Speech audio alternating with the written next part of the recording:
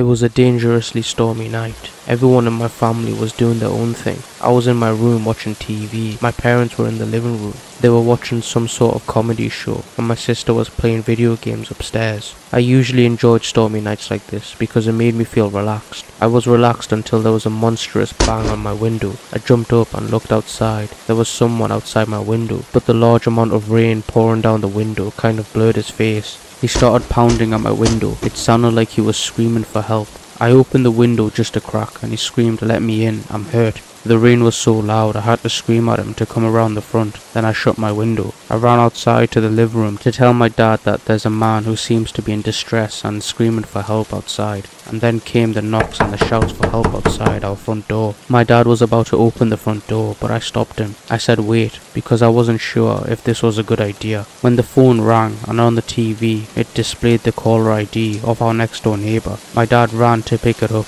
When I heard him say no way, I knew something was up. He hung up the phone and said stay away from the door. He didn't explain why. Where he said he saw a guy crouched down, pounding on the door, holding some kind of large sharp tool. My dad yelled through the front door at the man to go away before the cops get here. Then he actually got on the phone with the cops. Eventually the man outside gave up and he disappeared. The next time we checked, when my dad was on the phone with the neighbor, he told my dad that he saw a homeless man rummaging through his shed and came out with a large chopping axe. The cops found the crazed man wandering around the streets and it made it in the newspapers a few days later.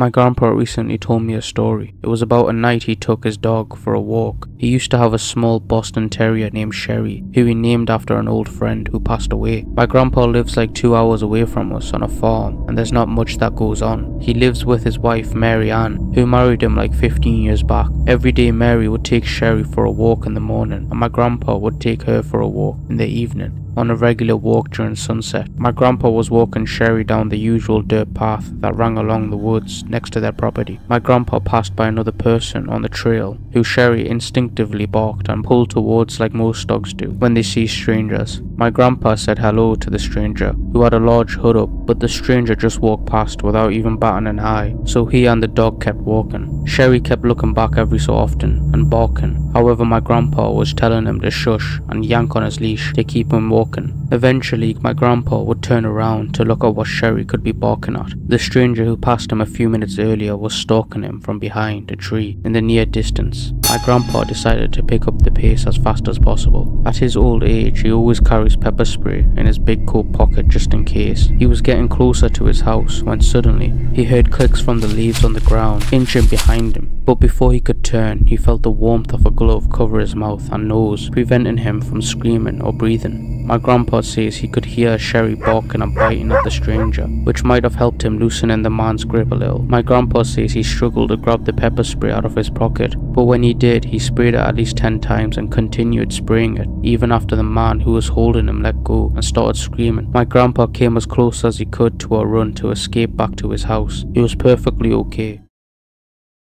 One night, when I was a really young kid, I was in the living room watching my favorite cartoons. I had the TV pretty loud, but I thought I could hear my mom calling my name from downstairs. I called back, what? She didn't answer, so I guess she couldn't hear me. I heard her call me again, so I went down to the basement. The lights were off, so halfway down, I called for my mom again. She did not answer. I didn't know where she could be calling me from, but one thing was for certain, she wasn't in the basement. I started going back up the stairs, but before I could even get to the top of the stairs, I heard my mom's voice again from down in the basement calling my name. I looked down into the pitch blackness. I ran back up to the top step, turned on the lights, and walked halfway back down, peeking inside the basement. I didn't see my mom anywhere down there. Suddenly, I got a huge rush of horror. I ran up the stairs basically crying for my mom. She came rushing down the stairs from upstairs, and I cried to her that something was calling me from downstairs that sounded just like her. She swore to me that she hadn't been calling me. She went down to the basement to check and make me feel better, but I didn't feel better. I'm sure she didn't believe me. Why would she? I was a little kid, but I still know that I heard what I heard.